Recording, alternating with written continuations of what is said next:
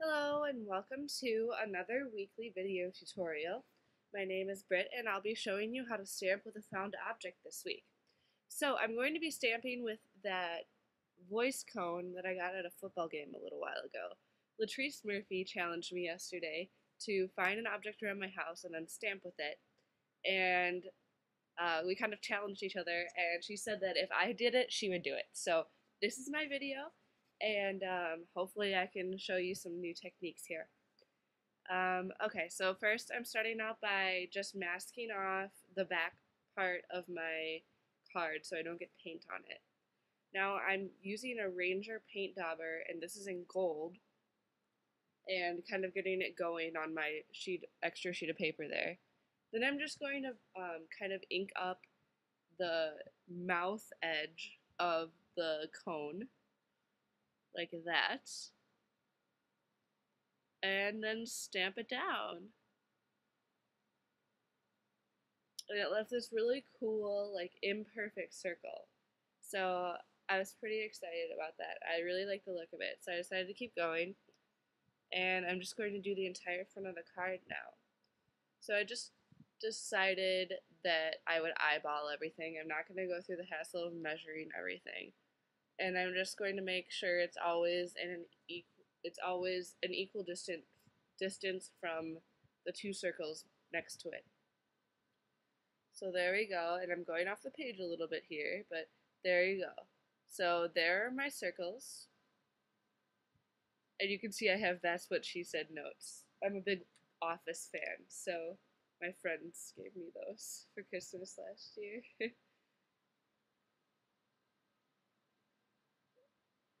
Okay, so I decided that I like the look like this, but I kind of wanted to add some more punch to it so that it showed up after I put other things on the card. So I'm going to go through with my paint dauber and very lightly um, kind of brush on some more gold paint, kind of making it like a dot effect. So there I've added all of this paint and the point was to make it look imperfect because I'm going to add things over it anyway, so we'll see where it goes. So now I'm taking this Bake Me a Cake set from Lawn Fawn and this Pyrus pad from Basic Grey. I love these colors, but they're not ones I usually gravitate towards, so I'm kind of struggling with them, and I decided that this would be a great card because it with the gold, it really makes it feel elegant, and this collection is definitely elegant. So I'm going to take my Bake Me a Cake stamp, and I kind of just throw it down on my table like that to let it naturally spring into shape, because it's kind of hard with ones that don't have the polymer across the middle to get them on straight. But I got it on the block all right, and I'm going to go ahead and stamp that and the rest of the five tiers on different pieces of paper kind of judging what part of the pattern I want. And this is pretty much how I clean my stamps. I just stamp it like five times on a piece of scratch paper, and then I'm good to go. I really don't wipe them off unless I'm using Versamark or something that's a little bit more annoying when I touch it next time. So this, I'm cutting out the cake pieces now. I believe this is this top tier. And I'm leaving a piece at the bottom so that I can slide it under and so that the edges don't show on all of them except for the bottom one. So I cut out the bottom one exactly how I wanted it to appear because I'm going to stamp this bottom of the cake plate and then have it sit right on top. So I have some kraft cardstock here cut to two and one fourth inches wide and I'm just going to build my cake on that and then kind of trim it down to size so I am putting on my first piece, and I only put adhesive on the bottom part of it because I'm going to need to slide the other pieces behind it.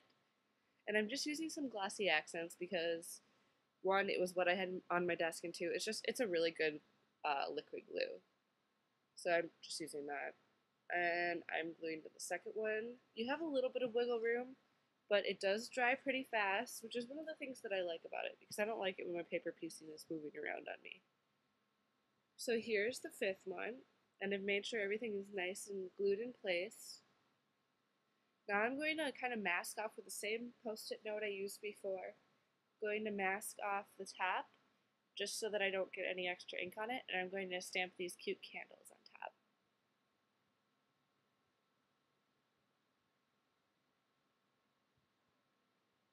I had just gotten out of the shower, so my hair's wet.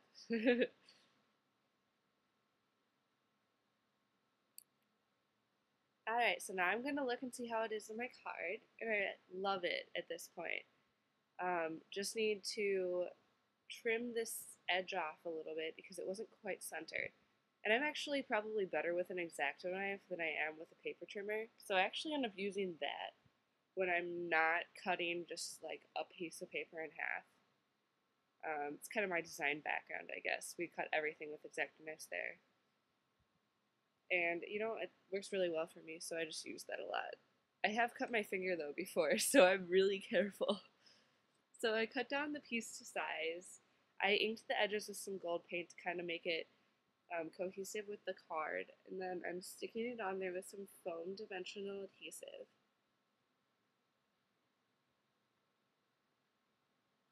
And I decided that I didn't want to use the Lawn Fawn sentiment that I originally had planned to. I was going to use the Sophie sentiment stamp set, stamp set because I love that set so much, but it didn't really fit with the card anymore. So I decided to go with my favorite classic messages from Hero Arts, and I use this all the time, and it's seriously way more worth the six dollars that I spent on it. So I stamped it on some or some cream cardstock. This is from Papertrey ink, just like the back the bases. Cut it out and kind of trimmed off the edges. Inked it with some gold paint, and then um, here's the final card. Rounded the edges, and it's nice and elegant. Thank you for watching, and I'll see you next week for another video.